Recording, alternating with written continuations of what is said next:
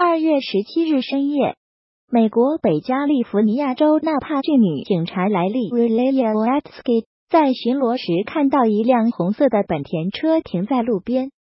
莱利上前询问是否需要帮助，并要求检查车辆。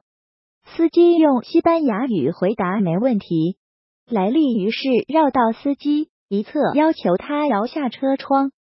莱利数次要求司机摇下车窗，司机才磨磨蹭蹭摇下窗。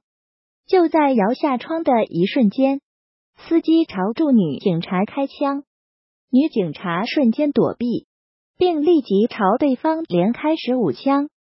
该男子当场死亡。其他人没有受伤。经查，该男子今年四十三岁，名为哈维尔 ·J. A. V. I. A. Richie R. M. A. N. D. E. Z. M. O. R. L. S. 曾是一名农场工人。哈维尔至少有五次犯罪记录，包括酒驾、非法持枪以及袭警。此次他所使用的枪支属于赃物。目前，女警察莱利。已被行政带薪休假，正面临相关调查。莱利是警三代，他的父亲和爷爷都是警察。去年六月，他刚被调任至纳帕郡。